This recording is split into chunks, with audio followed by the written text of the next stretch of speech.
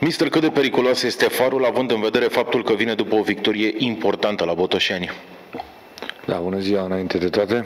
Ne așteptăm la un joc uh, dificil, clar, pentru că întâlnim o formație pe care eu o apreciez foarte mult, pentru că e o echipă cu o filozofie bine definită și pentru mine asta înseamnă identitate. E o echipă care încearcă un fotbal pozitiv, proactiv, un fotbal cu paza pe o circulație uh, bună și prelungită a mingei, în care încearcă să creeze foarte multe, uh, din care încearcă să creeze foarte multe situații de poartă. Mai mult decât atât, este momentul de față, după victoria noastră împotriva celor de la FC Argeș, a devenit alături de uh, CFR Cluj echipa cu defensiva cea mai bună, în speță 8 8 goluri primite și mai mult decât atât, dacă vă uitați pe linia clasamentului la jocurile de acasă, 5 jocuri, 5 victorii maxim de puncte. Lucrurile astea ne pun în gardă și ne așteptăm la un joc uh, foarte dificil. Ați fi preferat ca acest meci să fie reprogramat pentru o altă dată? Sincer, da.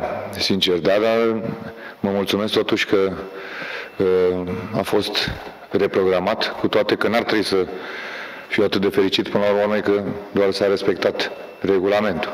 Dar la ce presiuni s-au făcut și la cum s-au interpretat lucrurile, până la urmă am ajuns să ne bucure normalitatea.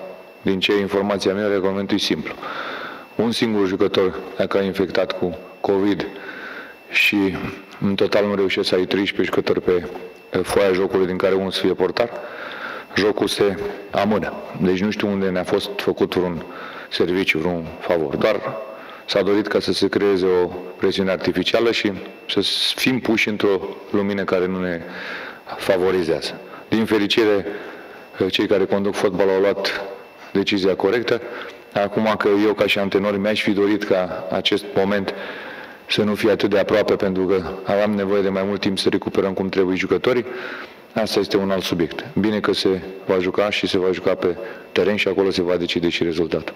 Dar vi se pare normal că s-au creat toate aceste discuții? Vorbeați chiar și în intervențiile trecute despre faptul că nu vă place să comentați lucruri până la urmă, îmi permit eu să spun asta, inventate de presă sau uh, prezentate doar din punctul de vedere al unor jurnaliști, E normal să creeze așa o nebunie în jurul uh, acestui meci? Ha, din păcate, de data asta chiar n-a fost vorba de presă, pentru că am văzut multe opinii de la oameni implicați în fenomen, fie m- care comentează fenomenul, fie implicați direct în fenomen, mă refer la conducători uh, și nu numai, oficial al unor cluburi care uh, au vorbit în necunoștință de cauză și asta este trist. Este trist pentru că atunci când ești în spațiu public și când poți să formezi sau să influențezi opinii, trebuie să fii documentat și uh, m-a supărat, nu pentru că cineva își spune părerea. Cum am spus mereu, fiecare spune ce dorește și e responsabil pentru asta. Dar atunci când uh, pui la zid un club, o echipă, sau uh, încerci să creezi impresia că acea echipă este favorizată, o echipă care a trecut prin momente cumplite, atunci e o problemă. Și atunci nu o să evit să am o reacție și este ceea ce spun și acum cu tărie. Am fost nedreptățiți. Singurul lucru bun din tot ecuația asta este că până la urmă urmei, în ciuda probleme foarte mari pe care le avem, jocul se va uh, uh, juca pe teren.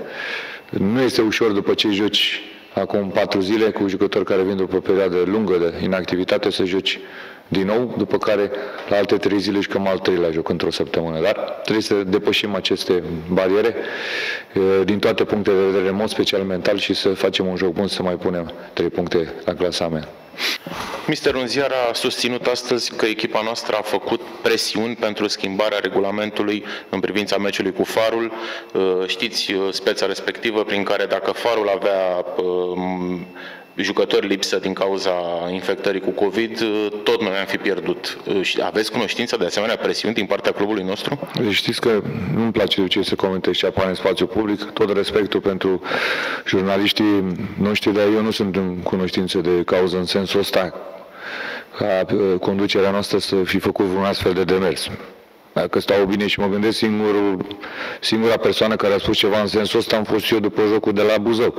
Și nu pentru că ne favorizează pe noi, dar pentru că cred că este o, ar fi o decizie extrem de înțeleaptă și de corectă în, sprijina, în sprijinul fotbalului, a competiției și în finala unui clasament care să uh, reprezinte realitatea. Pentru că azi suntem noi în situația asta. Mâine poate să fie altcineva, tocmai unii care poate astăzi sau ieri ne-au pus la zid. Dar ea faceți un exercițiu de imaginație, dacă ajungem să jucăm ultimul joc cu titlul pe masă și se întâmplă un caz în care adversarul nostru să nu poate să se prezinte, iar noi pierdem meciul cu 3-0 și automat și campionat. Va fi bine pentru fotbal românesc? În situația asta poate să fie oricare altă echipă. Deci cred că dacă se va lua o astfel de măsură, nu va fi în sprijinul FCSB-ului, ci al fotbalului românesc. Încep jucătorii care au fost afectați de COVID să revină la forma pe care o aveau înainte de focarul de la, de la echipă? Da, din păcate tot trebuie să ne adaptăm la starea lor, pentru că sunt jucători care au avut probleme. De obicei mie îmi place să-i împic mult la antrenament. Linia graniței în procesul nostru de pregătire nu este una fixă. O împing atât cât consider că este nevoie pentru ca echipa să fie implicată, să asimileze, să progreseze, dar de data asta eu trebuie să mă adaptez mai mult ca niciodată la starea echipei și starea jucătorilor. Din păcate trebuie să avem răbdare cu ei, să luăm încet încet. Sunt jucători care încă resimt diverse probleme, în ciuda condițiilor fantastice pe care le avem aici și a suportului pe care le avem în jurul echipei de la oameni cu multă capacitate și profesioniști. Cu toate astea nu te joci cu sănătatea și trebuie să avem uh, uh, răbdare.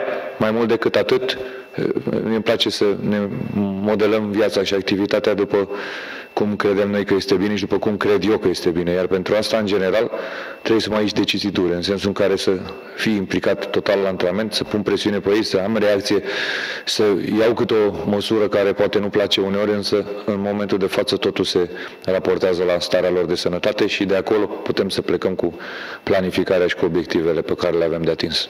Aveți șapte victorii consecutive, uh, urmează meciuri cu echipe din prima parte a clasamentului. Cât puteți extinde această serie a succeselor? Uh, e foarte important să prelungim momentul, dar avem adversari și, și ei sunt motivați și ei își doresc și ei sunt uh, combativi, organizați. Ați văzut ce joc greu am avut cu FC Argeș și sunt sigur că vom avea un joc și mai greu la Constanța, cu o echipă la fel, cu condiții foarte bune, cu un antrenor de excepție pe care îl apreciez uh, extrem de tare, cu jucători, cu calitate individuală, o echipă care sunt sigur că ne va crea probleme. Uh, noi trebuie să ne repliem din punct de vedere mental, emoțional, să încercăm să depășim încă sechelele pe care le mai avem și să ne ridicăm la un nivel bun care să ne permită să avem uh, așteptări pentru un rezultat pozitiv. Vom vedea. Uh, clar, programul nu este ușor. Dacă fac paralele cu contracandidatele noastre, cred că avem un program la fel de greu ca al Craiovei, care la rândul are adversar puternici în următoarea perioadă, dar mult mai greu decât a CFR-ului, care are teoretic pe hârtie jocuri mai accesibile pe prima parte a campionatului și mai grele în partea a doua. Dacă am reușit să păstrăm distanța la care ne apropiasem și recuperasem puncte de CFR fiind pe primul loc și vom reuși să ieșim bine din această primă parte a returului, atunci avem șanse ca în retur din nou să accelerăm și să mai recuperăm puncte.